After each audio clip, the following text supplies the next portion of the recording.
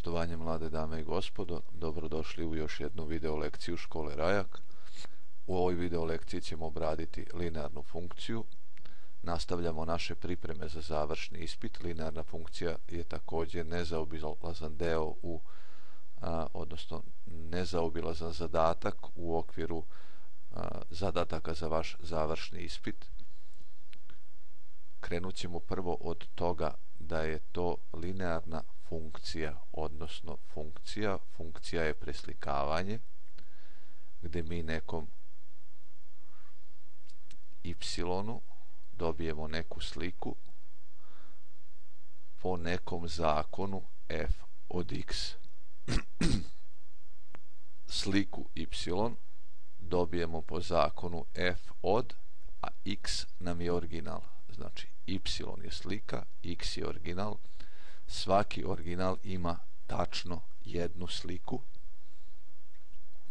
i u zavisnosti od ovog zakona preslikavanja, odnosno oblika funkcije, imamo razne funkcije. Osim linearne, radit ćete u srednjoj školi kvadratnu i trigonometrijske funkcije i eksponencijalnu i logaritamsku. Biće tu razno raznih funkcija, znači sada se susrećete sa pojmom funkcije i e, želeo bih da naglasim značenje reči original i značenje reči slika. Znači, mi sliku dobijemo tako što u neku mašinu ubacimo neku sirovinu x i ta mašina nam u skladu sa načinom na koji ona radi izbaci neki proizvod i to je naše y ako je naše y jednako 3x minus 2, zakon preslikavanja ovog oblika nam je u stvari ono što mi zovemo linearna funkcija. I sada ako mi izaberemo neki original, neka to bude 1, mi ćemo dobiti sliku y po ovom zakonu kao f od x, jel tako? Umjesto x ubacimo 1, dobijemo 3 puta 1 minus 2 i to je jednako 1. Ako izaberemo x jednako 0, da vidimo gdje će nam se preslikati ovaj original, umjesto x ubacimo 0 i dobijemo y jednako 3 puta 0 minus 2, to je jednako minus 2.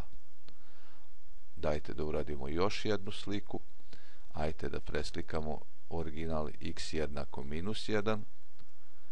y će biti jednako 3 puta minus 1 minus 2 a to je jednako minus 3 minus 2 to je minus 5 e sada vidimo da smo za original 1 dobili sliku y1, da smo za original x jednako 0 dobili sliku y jednako minus 2 i za x jednako minus 1 smo dobili minus 5. Ako ovo zapišemo kao uređene parove, znači imamo da je uređeni par 1, 1, uređeni par 0, minus 2 i uređeni par minus 1 minus 5 pri čemu nam je prva prvi element uređenog para vrednost x a uvek vrednost drugog elementa je y. Ovo možemo posmatrati kao tačke u x, y ravni. Znači svaki par original slika predstavlja neki uređeni par koji možemo predstaviti tačkom u x, y ravni i kada te tačke za svako x izračunamo koliko je y i kada te tačke unesemo u Descartov koordinatni sistem ove tačke će nam ležati na jednoj pravoj liniji E sada možemo preći na malo definicija o linearnoj funkciji. oblik y jednako kx plus n se zove eksplicitni oblik linearne funkcije. U ovom obliku linearne funkcije koeficijent k nam predstavlja koeficijent pravca, a n je slobodan član ili odsečak na y osi. Osim eksplicitnog oblika, imamo i implicitni ili opšti oblik linearne funkcije, to se može zapisati tada se linearna funkcija zapiše u obliku ax plus by plus c jednako je nula. Zašto je ovo eksplicitno, a zašto je ovo implicitno? Eksplicitno je zato što eksplicitno, odnosno jasno vidimo čemu nam je jednaka slika. A zašto je ovo implicitno ili sakriveno? Pa zato što mi ovdje ne vidimo jasno kako dobijemo sliku. Znači sakrivena nam je slika u ovom obliku. Ne vidimo jasno čemu nam je ta slika jednaka. Zato se čuvajte. Obično vi zapamtite da vam je k, odnosno koeficijent pravca, ono što se nalazi uz x. Vodite računa ono što se nalazi uz x, odnosno koeficijent uz x, je koeficijent pravca samo ako je linearna funkcija u eksplicitnom obliku. Znači, ako imamo 4x minus 2y minus 6 jednako je nula, mi ne možemo reći da nam je 4 koeficijent pravca bez obzira što je to koeficijent uz x. Mi iz ovog implicitnog oblika treba da pređemo u eksplicitni, pa kažemo, ostavimo na levoj strani y, minus 2y je jednako minus 4x plus 6, znači prebacimo na desnu stranu sve što nema y, podelimo sa minus 2 da bi dobili koliko nam je y, y je jednako 2x minus 3, e sada mi možemo da kažemo da nam je koeficijent pravca 2, a da nam je slobodan član minus 3. Znači, ovo jeste relativno jednostavno, ali čuvajte se da ne pogrešite, jer će vam značenje koeficijenta pravca i značenje slobodnog člana trebati u zadacima. E sada da vidimo šta nam znači koeficijent pravca i zašto se on tako zove. Pa zato što nam određuje pravac ako je koeficijent pravca pozitivan, funkcija je rastuća. To vidite na ovoj ovdje slici. Sad, zašto, je, zašto ovo zovemo rastućom funkcijom? Pa zato što ako uzimamo veće x-ove, dobijat ćemo veće y. Znači, sa porastom x-a raste nam y ako je k manje od nule, funkcija, grafik funkcije je opadajući. Zašto? Pa zato što ako uzimamo veće x-ove, gledajte, za ovo x slika mu je ovo. Za ovo x slika je ovo za ovo x slika je ovo y, a za ovo x slika je ovo y. I pogledajte, kako nam x raste, tako dobijamo sve manje vrednosti za y, zato se ovo zove opadajuća funkcija. Negde logika rasta i pada može da se tumači i kroz kretanje, zamislite da se vi krećete po grafiku linearne funkcije kao nekom putu i krećete se u smeru koji definiše x osa, znači krećemo se na ovu stranu, kod rastuće funkcije idemo uzbrdo, pa nam je to rastuća, a kod opadajuće funkcije kad se krećemo idemo nizbrdo, pa je to zato opadajuća funkcija. Znači, kada nam je k veće od nule, funkcija je rastuća. Kada nam je k manje od nule, funkcija je opadajuća. šta se desi kada je k jednako 0? Kada je k jednako 0, to znači da je y jednako 0x plus n, odnosno y jednako n. Pa to znači za bilo koje x nama y uzima vrednost n i tada je grafik funkcije paralelan sa x osom i prolazi kroz tačku 0n.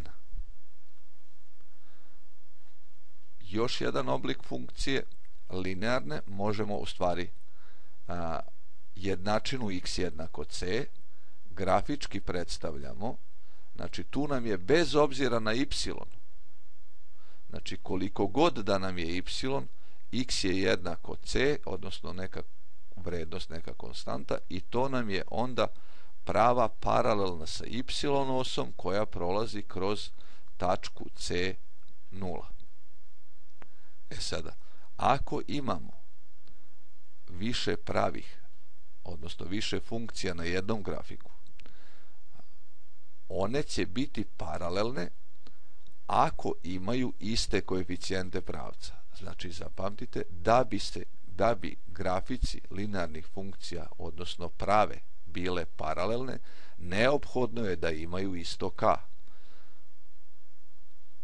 To znači, ako imamo funkciju y jednako minus 3x plus 2 i y jednako minus 5x plus 4 one imaju različite koeficijente pravca i one nisu paralelne.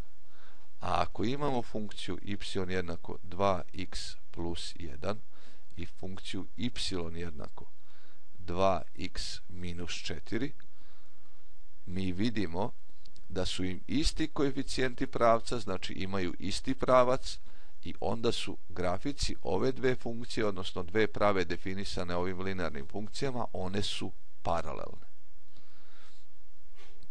Koeficijent n nam govori gde će grafik funkcije preseći y osu.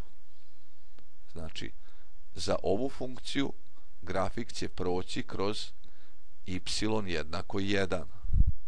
Za ovu funkciju mi ne znamo kako grafik izgleda, ali znamo sigurno da prolazi kroz minus 4.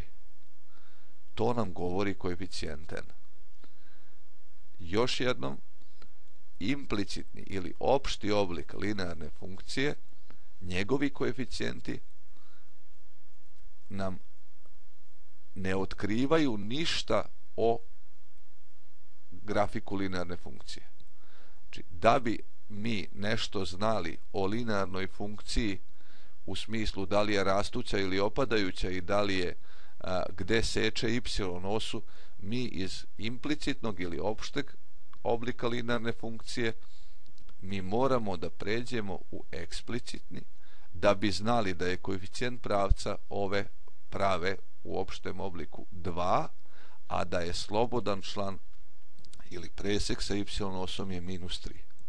Znači, još jednom naglašavam da biste znali koeficijent pravca i slobodan član koeficijent pravca je koeficijent uz x, ali samo ako je funkcija u eksplicitnom obliku. Dobro, sada ćemo pogledati kako se menja izgled linearne funkcije ako menjamo k i n imamo neku linearnu funkciju y jednako kx plus n i na ovim ovde klizačima biramo vrednost k i vrednost n. Sad ćemo da vidimo šta će se desiti ako menjamo k. Znači, pošto je k pozitivno, 3, jel tako? Ovo nam je funkcija y jednako 3x plus 0 obratite pažnju, ako je n jednako 0, to znači da grafik funkcije prolazi kroz y jednako 0, odnosno, pošto je to tačka gde se seče y osa, prolazi kroz koordinatni početak. Znači, ako je slobodan član jednak nuli, tada grafik funkcije prolazi kroz koordinatni početak. Znači, ovo sada što vidite je prava y jednako 3 x plus 0, odnosno y jednako 3x. Pa da vidimo šta se dešava kad menjamo k. Ako k povećamo, vidite da raste strmina, znači prava postaje sve strmija. Jel tako? Postaje sve više rastuća. A kako nam k opada, tako opada i nagib te prave, znači ona sve blaže raste i šta se desi kad je k jednako nula to je prava y jednako 0x plus 0 to je prava koja je u stvari x osa zašto? zato što pošto je n jednako 0 prolazi kroz koordinatni početak a pošto je k jednako 0 prolazi kroz nulu i paralelna je sa x osom, to znači da se u tom slučaju ona poklapa sa x osom, pa za linearnu funkciju y jednako nula, mi u stvari imamo x osu. Ako nam je k negativno, vidimo sada kad k postaje negativno, funkcija postaje opadajuća. I sad, što je k negativnije, to imamo sve veću strminu, znači to je značenje koeficijenta k.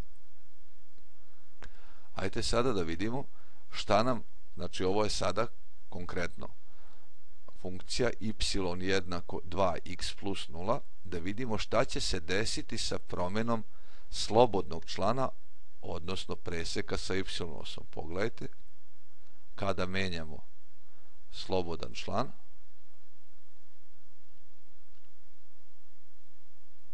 evo vidite n jednako 1 n jednako 2 znači to je mesto znači praktično paralelno sa pravcem k jednako 2 mi pomeramo našu pravu i ona seče y osu u n. I evo sada za n jednako 0 naša prava prolazi kroz koordinatni početak. N jednako minus 1 seče y osu minus 1 znači to je značenje koeficijenta n znači promenom koeficijenta n a zadržavanjem koeficijenta k mi dobijamo prave koje su međusobno paralelne a seku y osu u različitim tačkama. Znači, ajde sad da uzmemo neku opadajuću funkciju, k jednako minus 3, to je opadajuća funkcija i pogledajte sada, kada menjamo n, mi dobijamo paralelne prave koje seku y osu u raznim tačkama, a kad je n jednako 0, prava y jednako minus 3x prolazi kroz koordinatni početak, opadajuća je zato što je k negativ. Nadam se da vam je ovaj prikaz pomogao da razumete značenje koeficijenata linearne funkcije u eksplicitnom obliku k i n i da vam je sad jasno šta znači da su dve prave paralelne ili šta znači da prava seče y osu na primjer u minus 4 to znači da mi ne znamo onda koliko nam je k ali znamo sigurno da nam je slobodan član minus 4. Ako vidimo da je funkcija opadajuća, mi znamo da je njeno k sigurno negativno. Znači, ako ne znamo koliko je k, znači nemamo ovu informaciju, ali vidimo grafik funkcije, mi na osnovu tog grafika znamo sigurno da je k negativno, a ako vidimo da prolazi kroz minus 4, odnosno seče y osu u minus 4, onda znamo da nam je slobodan član u toj funkciji minus 4. Još jednom, znači linearna funkcija je preslikavanje, sliku y dobijemo po ovom zakonu, kada povežemo slike originala i odnosno kada povežemo originale i slike u uređene parove, mi dobijamo tačke u Dekartovom koordinatnom sistemu, znači svaki original ima neku svoju vrednost y preslika se u neko y, kad to tu tačku x, y postavimo u dekatov koordinatni sistem i to uradimo za svako x tačke koje predstavljaju uređene parove original slika se povezuju u jednu pravu. Znači svaka tačka ove prave koja je grafik linearne funkcije ima neku svoju koordinatu x i y, znači x je ovo, znači to je original, a y očitamo tako što povučemo normalu na y osu, znači koordinate te tačke predstavljaju tačnu jednakost kada se zamene u linearnu funkciju, odnosno ta tačka pripada linearnoj grafiku linearne funkcije. Znači ako vam postave pitanje da li je neka tačka a, pripada grafiku linearne funkcije, mi x i y te tačke uvrstimo u jednačinu linearne funkcije i ako dobijemo tačnu jednakost, ta tačka je deo i pripada linearnoj funkciji, grafiku linearne funkcije, a ako ne dobijemo tačnu jednakost, onda ta tačka ne pripada grafiku linearne funkcije. Koliko imate pitanja i ukoliko vam nešto od ovoga što sam ispričao nije jasno, možete postaviti pitanje mailom na mail škole.